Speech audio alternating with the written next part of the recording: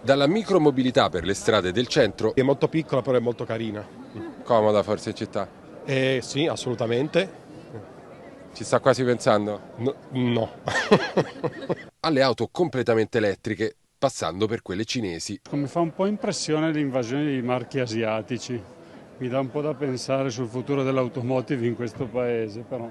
Lei in generale la prenderebbe un'auto elettrica adesso? No, Perché? Perché non ci sono sufficienti punti di ricarica. Sono un po' diffidente, non mantiene, non garantisce con i modelli attuali la, la percorrenza che io dovrei fare, mi conviene ancora il benzina. Il Salone Auto di Torino è l'occasione per vedere dove va il settore. Se la destinazione non è chiara, la strada al momento sembra in salita con un calo generalizzato delle vendite. Stiamo parlando di un mercato che a differenza del PIL eh, non ce la fa a tornare ai livelli normali.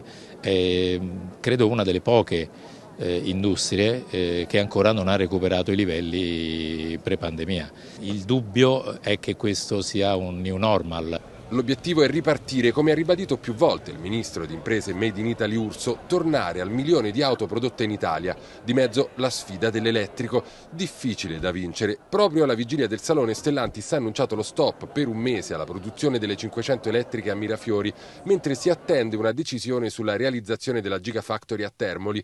Ma per i produttori la strada da percorrere è obbligata, vista anche la decisione dell'Unione Europea. Stop alla vendita di auto a motore termico dal 2035, nonostante le richieste del governo italiano. Se dobbiamo andare verso l'elettrico dobbiamo sicuramente ridurne i costi, renderlo più competitivo e farlo in maniera stabile senza dover ricorrere necessariamente agli incentivi governativi.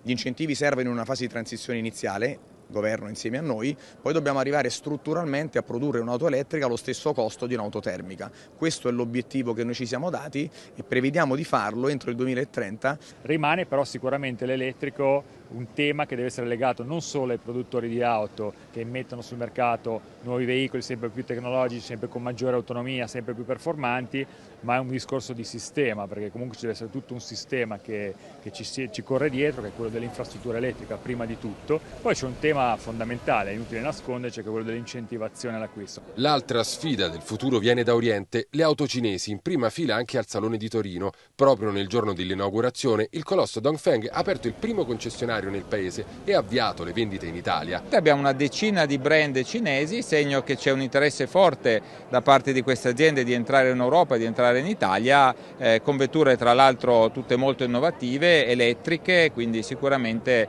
da prenderne atto. Dalle supercar alle utilitarie, i modelli di diverse case produttrici occupano un'ampia porzione di via Roma. Penso che sia una, un grosso cambiamento a livello di, di, di, di, per quello che hanno sempre rappresentato i cinesi, no? cioè, oggi invece fanno dei prodotti che sono prodotti premium. Sì, per vedere queste cinesi che sono qua e ce ne sono a massa, per vedere come sono insomma. Dobbiamo aprirci alle novità, devo dire che esteticamente sono belle, non so a livello di prestazioni. Il paese ha una posizione sempre più centrale nella geografia dell'auto e c'è chi in Italia ha da tempo scelto la via dell'accordo commerciale invece della concorrenza. Abbiamo dei rapporti ormai consolidati e storici con i principali produttori asiatici che sono nostri fornitori insieme ai quali sviluppiamo i nostri modelli partendo evidentemente dalle, da piattaforme già esistenti. Però nei nostri piani c'è un'evoluzione, tornare ad assemblare completamente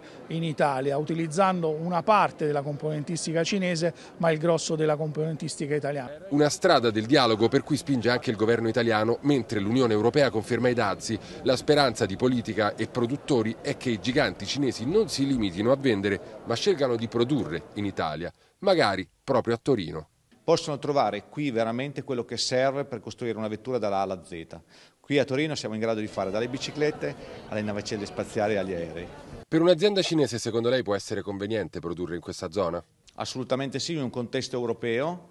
Eh, la zona di Torino ha un, un, raggio di 100 km tutto quello che serve a un grande player internazionale per, per creare una fabbrica anche manifatturiera qui nel nostro territorio. Da vedere se in futuro sulle auto cinesi ci sarà davvero scritto Made in Italy.